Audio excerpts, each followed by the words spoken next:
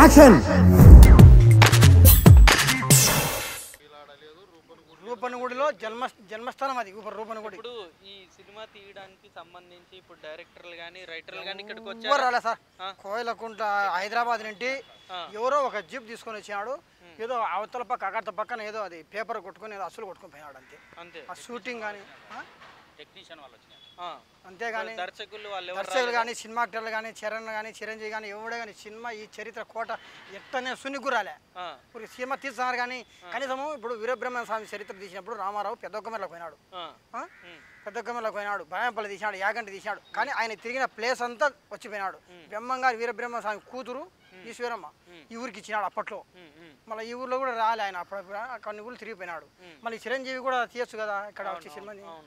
ఎందుకు తీయలేదు? అక్కడ కోట కట్టుకుని అక్కడ తీస్తారంట కనీసం ప్రతిరోజు చెన్నకేశ్వరం దర్శనం చేసుకోబోయాడు నరసింహాడి. మళ్ళీ కనీసం ఈ దేవుని ఎదురు ఇంకా రావాలి కదా ఆ చిరంజీవి. ఆ చిరంజీవి రాలే చేయలేదు అక్కడనే కట్టుకుని తీస్తున్నాడు అది ఎంత మటుకు ఎట్టున్నది. ఓకే ఎలా ఉండబోతుందో రెండో తారీఖు మనకు తెలుస్తుంది. తెలుస్తుంది.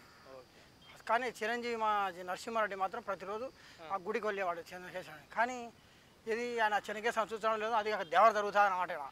ప్రతి సంవత్సరం దేవర జరిగేదంట. జాతర పెద్దమ్మ జాతర. ఇప్పుడు జరగట్లేదా? మాకు జరుగుతుంది అక్కడ. ఈ కోట దేవరని సపరేట్ ఉన్నాయి అనమాట ఆ దేవర్లో సినిమాలు పెట్టినా లేదా ఇవన్నీ తెలియదు ఓకే ఓకే.